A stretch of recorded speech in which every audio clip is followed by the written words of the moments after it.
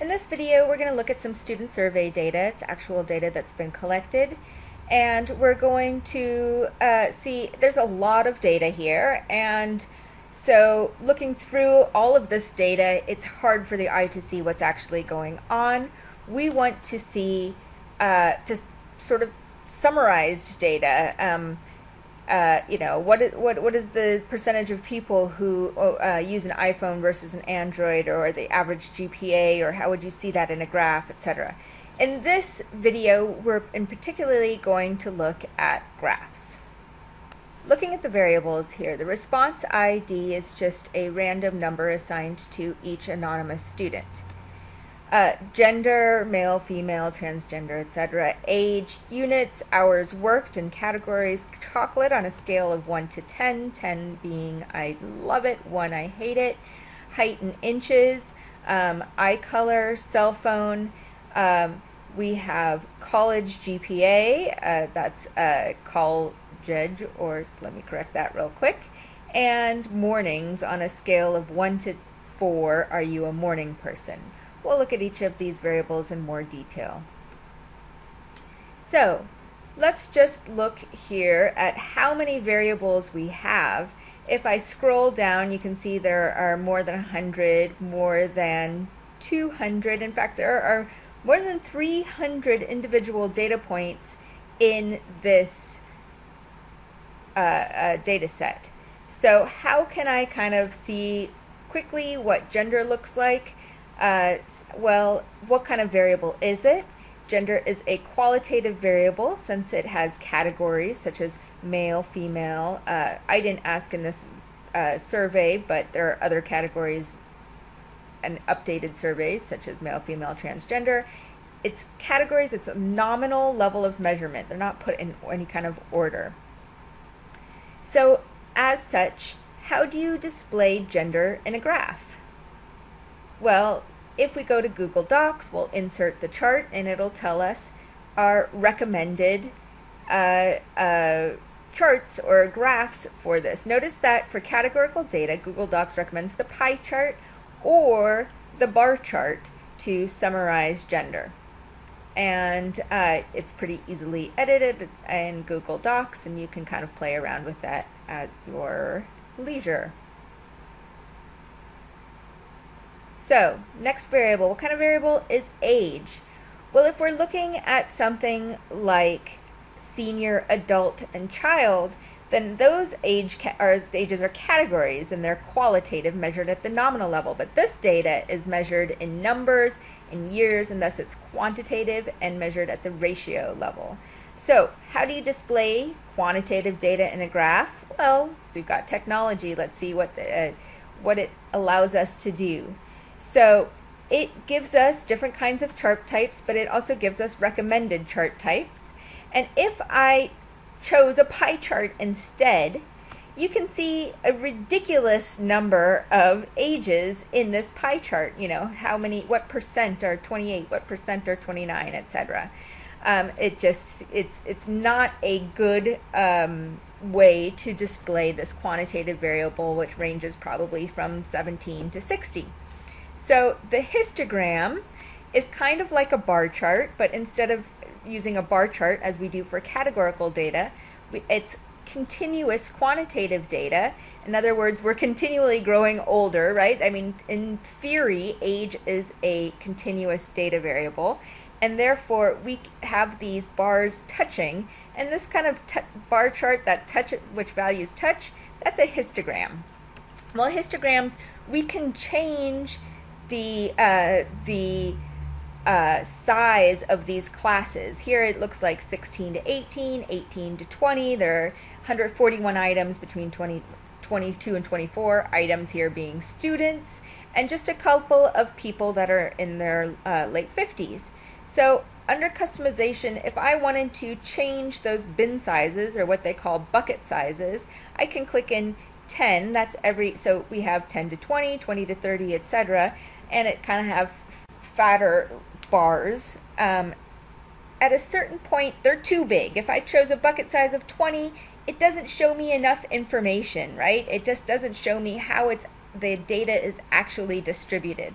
So I might choose something like 5. And that actually looks pretty good to me as far as I'm not really concerned how many people there are between 20 and 22 or 3, maybe even prettier. So uh, there's no necessarily, uh, not necessarily a silent science to choose the bucket size, but you need to be able to see that distribution. I can also do things like change the color, make it pretty, pretty brown, and insert it into my document. Uh, I can make a copy of an image and save it somewhere. I encourage you to play around with Google Docs and all of its capabilities as far as uh, its spreadsheet is concerned. All right, so units, I believe, is the uh, next one. And our units are also quantitative. Uh, it's quantitative variable. And so I'll go ahead and uh, also have a histogram of the units. Um, again, I can customize this a little bit, uh, change the bucket size, uh, change this to uh, 3, let's say, and I can still see the shape of the histogram, which we'll go over later. Um, and uh, uh, I, am able to edit it, edit the, the title, etc. Hours worked could be quantitative data, but here it's measured using categories, thus it's qualitative. And in here we have uh, less than five, uh, I think it's six to ten, etc. Thus you can put it in order and how many hours people have worked using these categories. So it's ordinal.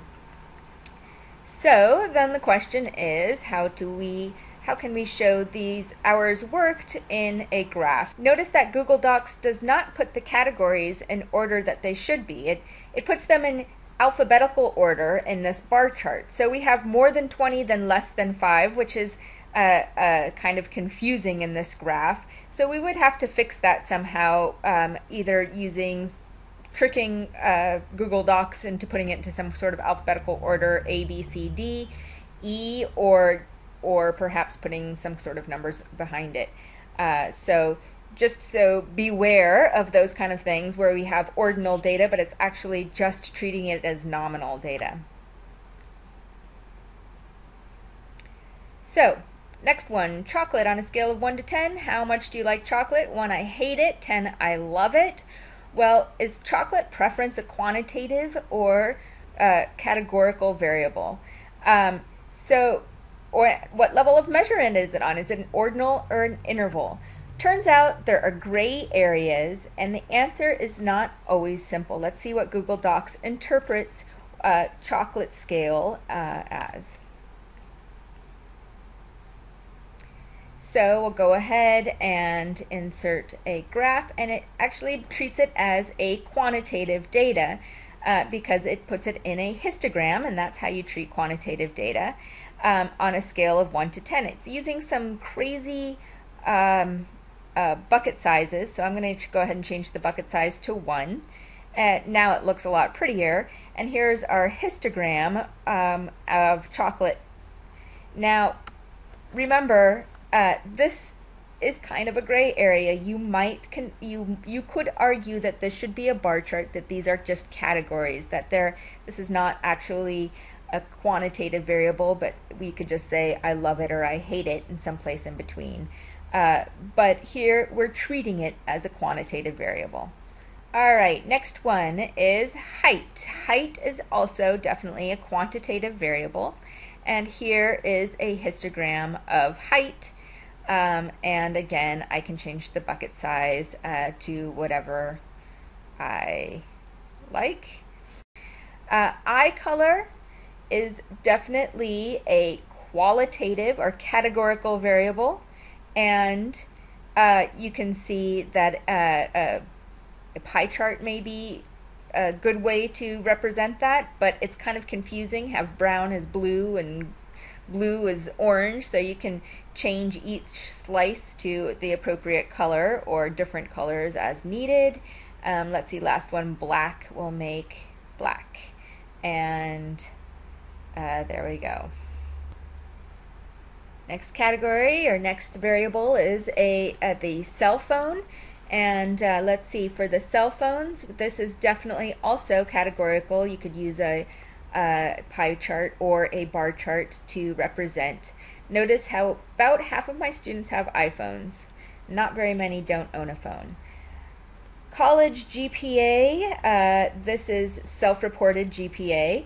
Uh, this is, and um, there are a lot of zeros, but the zeros uh, are probably students who did not have a GPA, uh, and so they put a zero. In other words, they did not have many uh, college classes. So that might be slightly confusing, and that's data that probably could be cleaned up, but that's what it looks like with just the raw data. The last one is mornings. And that is one is I hate mornings, four is I love mornings. And I'm not sure what's going on here with the recommendations, uh, but we'll click on the histogram. And um, again, it's doing some weird buckets just as the default. It's recognizing the uh, values as a quantitative uh, values, um, which again are categories. But uh, there you go. That's that's sort of a quick summary of some graphs.